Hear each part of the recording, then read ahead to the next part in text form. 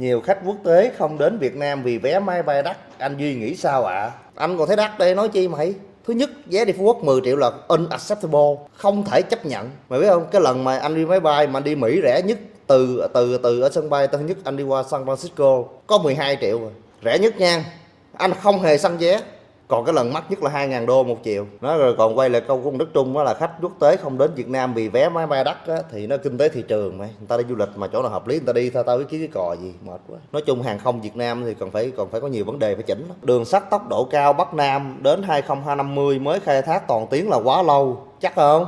Ủa bây giờ chuyện năm nay mới 2023 mày ngồi mày nói chuyện 2050 ai ngồi nó đỡ nổi. À, thấy đường cao tốc Bắc Nam khả thi và nhanh hơn đường sắt đúng anh? Đúng đường cao tốc đúng nhưng mà đường re, re, freeway thì chưa đúng. Từ cái cao tốc mở lên được cái freeway chắc cũng hơi rất là lâu á. Hôm nay trên mạng rần rần rần rần rần rần cái đường gì mà hoàn thành trước kế hoạch 3 tháng gì đó tôi ráng vô tôi ngồi tôi banh mắt tôi coi cái hình cái đường nó mấy len cái đường đó nó, nó có cây chưa nó có những cái những cái phụ kiện của đường chưa? Trạm dừng trạm đổ rồi chưa? Cây xăng cây xiết trạm sạc điện rồi có chưa? Ngồi tối ngày nó con đường không một trụ lũi không có gì trơn ai dám chạy. Nó nhìn tôi nhìn thấy ở đâu đó vẫn có cái bệnh thành tích. Cứ nói con số cho đẹp vô cái đường cho dài vô cuối cùng chưa ra gì hết á. Phải kịp ngày này phải kịp ngày kia. À, tụi nhỏ tóc tóc khen bài hát xuyên tạc về lượm hay không hiểu sao giới trẻ nhiều đứa ngu quá.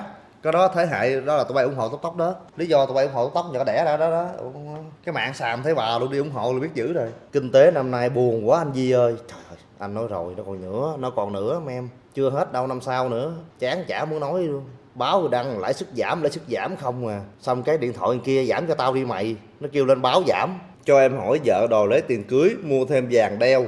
Để lấy hên, vậy anh mua cho vợ không anh không? Đời không có hên xui chứ có giỏi dở thôi. Tiền nó để riêng để cho con đi học. Tại con là hai đứa hùng. Còn bây giờ nó đeo có mình nó thôi, kêu nó bỏ tiền nó ra mua. Nói là anh Di phán vậy đó cảm thấy không fair thì kiếm anh Duy hỏi nha. Phần Lan vào NATO rồi anh. Phần Lan vô biết rồi Thụy Điển kìa. Ông Thụy Điển giờ mới hot chứ Phần Lan vô chuyện vô lâu rồi. Bây giờ mấy em tin lại anh nói chưa? Anh nói mày Phần Lan Thụy Điển chắc chắn vô. Mà anh nói nhiều lần rồi hai nước đó mà không vô thôi dẹp NATO để làm gì? Nước ta ngon vậy mà không cho vô. Mà cho vô mấy nước cùi cùi kia vậy cái, ở đời cái sự công bằng nằm ở đâu? Năm 2004 một đống nước cùi bắp vô luôn. Rồi mẹ cho nó vô đã đời vợ thả toàn phóng ngược không? Hungary? Vậy từ từ lúc Hungary vô NATO Hungary đóng góp được cái gì? Vậy thì nếu mà cỡ như Hungary còn cho vô được thì Phần Lan thì điện không cho vô thì ở đời không có sự công bằng. Lúc nãy em xem video, tóc tóc, máy bay Mỹ lửa đỏ, Nga lửa xanh. Ủa, có rồi hả? Xong xuống comment mới thấy mấy cha nội kêu, công nghệ luyện kim của Nga hơn hẳn Mỹ. Nên mới xanh như bếp ga, lửa xanh sẽ tốt hơn. Vì máy bay Nga lửa lửa xanh mà máy bay Mỹ lửa đỏ hả? Công nghệ luyện kim tốt hơn hả? Không đủ cơ sở để tranh cãi. Cãi đi mấy em anh không tranh cãi được mấy này đâu. À, cuộc chiến Nga và Ukraine vô tình làm cho đường biên giới NATO dài thêm 1.300 cây số và ngược lại Nga phải tăng ngân sách quốc phòng để canh chừng đường biên giới đó. Thua càng thêm thua. Exactly. Chưa kể về cái vị trí địa chiến lược ở trên biển kia nữa. Thì bây giờ Nga có hai cái biển cái biển băng tích với cái biển đen. Giờ biển băng tích thì coi như bỏ còn biển đen thôi. Biển đen thì đang chiếm được à, du học 2 năm cao đẳng cộng đồng rồi lên đại học cho đỡ đỡ tốn tiền học thẳng 4 năm đại học Anh. Thường thường nó học ngu thì học đường đó được em. Còn học giỏi đi thẳng luôn chứ ai đi đường đó trời. Nói chung là mấy người đi đường đó thường thường ra làm chóp ít tiền lắm em. Còn nếu mà bên Mỹ giờ cạnh tranh khó khăn muốn chết luôn. Mấy trường cao đẳng cộng đồng này nọ ra dạy làm nghề thôi chứ học cái gì nữa.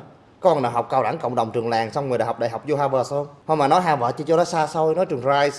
Thí dụ giờ con nào học cao đẳng cộng đồng ở Houston rồi xong rồi đi đi vô trường rai học đại học không? Chắc trường rai nó nhận. Nổi con đường nó thấy không ổn rồi. Rồi xong mới cùng lắm học ở, ở gì về UPS mấy mấy đây mấy bạn chắc không biết UPS gì đúng không? Rồi xong báo giá luôn. Nếu mà hên hên hồ sơ đẹp học UPS ra xong chắc làm được 48 ngàn năm. Cao hơn tài trần xíu. Rồi học ờ, đi làm được có 48 ngàn năm mà chừng nào gỡ vốn đúng không? Rồi xong lên năm bảy chục tuổi chắc lên được chừng ờ, 60 à, ngàn rồi xong rồi đó. Rồi người ta lãnh lương hưu 10 ngàn mình lãnh lương hưu 3 ngàn. Trường em đầu vào 24 điểm đó anh trường mày đầu vào 24 điểm mà mày ra mà làm 5 triệu mày mua điểm hả? Ô 24, 24 điểm 3 môn, môn 8 điểm. Mà ra làm 5 triệu này chắc mua điểm rồi. Thường thường mấy thằng giỏi vậy đâu ngu đâu ta. Cho em hỏi nếu xét CDP rồi có cộng lại ờ, có công bằng không boss công bằng xong công bằng không CDP nó phải của trường nào nữa nha. Thí dụ CDP của trường phổ thông văn khiếu nó khác còn CDP của trường anh với bến tre nó khác à. Chứ còn ví dụ như CDP của trường anh với bến tre là ví dụ gdp anh chín điểm rưỡi xong rồi uh, lấy vô cái ờ, cái GDP trường năng khiếu ví dụ như ông vô tới sạch 9 điểm thì ông rớt cái quá ngọn gì đúng hận ngàn thu luôn. Anh thấy ngành marketing sau này còn phát triển không anh? Còn nghe đại học công nghiệp ổn không anh? Cái trường đó là ngày xưa năm nào cũng thi chứ hồi xưa đó là là trường cao đẳng công nghiệp 4 á. Sau này nâng lên đại, đại, đại học công nghiệp số 4 Nguyễn Nhân Bảo á. trường đó trường viên nợ của anh mà mà không lần nào anh học hết đó hai duy theo duy thì sinh viên ra trường không xin được việc làm hoặc buộc làm trái ngành. À, thì do các bạn ấy chọn sai ngành hay công việc không đáp ứng được lượng sinh viên ra trường cả hai cả hai luôn. Thứ nhất là ở đầu của mấy bạn đó 50% cái đầu cái trường nữa. Trường cũng lùi gà bạn đó là con gà thế thôi. Hai cái mét nhau thì nó ra vậy đó màu xanh áo ráp. Nếu mấy bạn học giỏi ở Việt Nam thì qua Mỹ học chắc chắn tốt nghiệp loại giỏi không anh? Giỏi trường năng khiếu thì ok. Nói chung ở Việt Nam này có khoảng uh, mười mấy hai chục trường phổ trung học phổ thông á nó được Mỹ verify. Còn có mấy trường kia là unverify. giống như trường của tao dưới quê là unverified rồi đó. Nên học giỏi trường của anh dưới quê thì qua Mỹ thì hên xui. Sợ nó không chịu luôn chứ đừng nói. Còn thí dụ như trường phổ thông năng khiếu của ông cô Tích Sọt á thì được verify. Trường của ông ờ, top Việt Nam đó nói chung mà thật khó nói trường phổ thông nào giỏi nhất Việt Nam đúng không? Khó nói câu đó lắm. Nhưng mà trường của ổng thi rất là nhiều giải và cũng không ngán bố con ai đó theo theo theo như ổng nói. Học à, học giỏi trường làng với học à, gà trường vip thì cái nào giỏi hơn anh? Bây giờ học giỏi trường làng mà nhắm mà vô được trường vip không? Thì mới so được. Tại, tại thằng trường vip không phải là cái muốn vô là vô. Nên hỏi cái câu này nó chưa đúng đâu. Cái gì à? khó lịch mỹ chương trình đào tạo không khác mấy university đâu. Ý em nói là nó khó ngang hay gì? Ý em nói nó khó ngang hay là sao em? Ra trường thành thạo anh ngữ thì lương cao hơn, phải không, boss? Maybe. Nói chung là ra trường cần làm được việc, ngôn ngữ là một phương tiện không? Nó là một lợi thế, nhưng nó không phải quyết định tất cả. Trường phổ thông năng khiếu giỏi nhất miền nam luôn rồi. Em học chung với mấy đứa năng khiếu em biết iq rất là cao. Ghê vậy. Mà học chung với tôi nó luôn hả? Em có bạn nữ vừa tốt nghiệp khu tách ngành dược. Có có B2 có B2 năm năm 23 Ủa lộn có B2 là có có cái visa B2 hả? Năm ờ, năm nay 23 năm nay 23 phẩy cái đi ba. Năm sau sẽ qua Mỹ định cư. Anh cho lời khuyên và hướng tới con đường hợp lý định cư đúng không? Định cư theo diện kết hôn thì khoan đẻ. Bây giờ mình có bằng ờ, thạc sĩ đúng không? Mình có bằng gì? À, ngành dược thôi đúng không nói ngành gì đúng không? Thì bên học học lại đi. Qua bên đó học lại. Nếu mà cảm thấy tự tin vào con đường học vấn nha học học lại nó sẽ gọi là bây giờ lấy cái bằng đó chuyển đổi điểm đi coi nó chuyển được nhiêu nó giữ được nhiêu thì thì thì thì thì, thì giữ không giữ được thôi. Chứ cái trường đó thì tôi cũng biết nha. Còn nếu mà cảm thấy không học nữa thì thôi làm neo đi chứ làm gì vợ quan điểm của anh rõ ràng. Mạnh cái nào chơi cái đó. Em thấy ờ, hiện em thấy hiện nhiều bạn mang bằng ở mỹ về việt nam làm làm nhưng nhiều nhà tuyển dụng họ không đánh giá cao như trước nữa. Mấy loser vậy thôi chứ gì nữa, tự nhiên bằng, mang bằng của mỹ về việt nam để để người ta đánh giá không cao, loser chứ lại gì. Vì à, thật ra mỹ nó phổ cập đại học à, đường vào thì mở xiết đường ra, việt nam mình thì ngược lại. Này hôm nay nói chuyện không có kiến thức, em nói chuyện sai nặng lắm luôn em. Việt nam ngược lại là gì? Tức là ý bạn nói là việt nam vô khó mà ra dễ hả? Làm gì có khái niệm vô khó ra dễ? Làm sao? Khái niệm nó khái niệm xạo.